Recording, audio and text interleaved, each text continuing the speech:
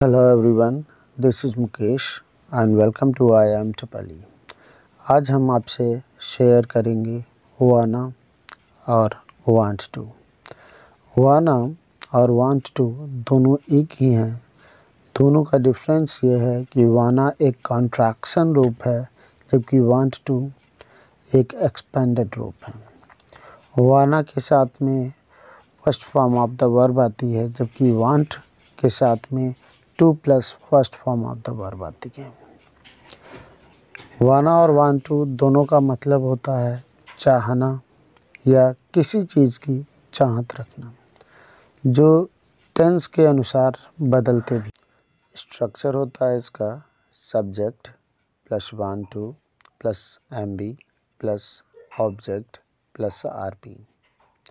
इस स्ट्रक्चर ये जो है वो एक टेंटेटिव स्ट्रक्चर है जिसमें सेंटेंस के अनुसार बदलाव भी आते हैं।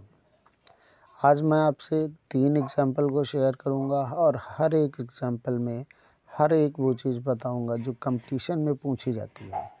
जैसे पहला एग्ज़ाम्पल मैं तुम्हें अपना बनाना चाहता हूँ।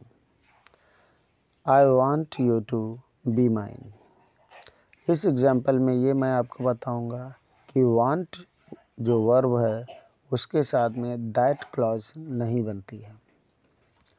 सेकेंड एग्ज़ाम्पल मैं तुम्हारी तरह सफल होना नहीं चाहता हूँ।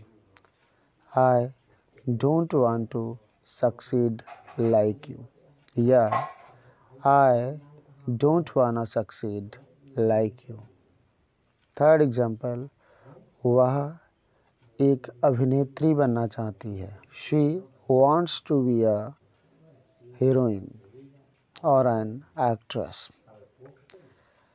जिसको हम दूसरी तरीके से बनाएँगे तो ये हो जाएगा she wanna be an actress I hope the information is quite clear and beneficial to your competitive exams if it is so please do like share and subscribe my channel thank you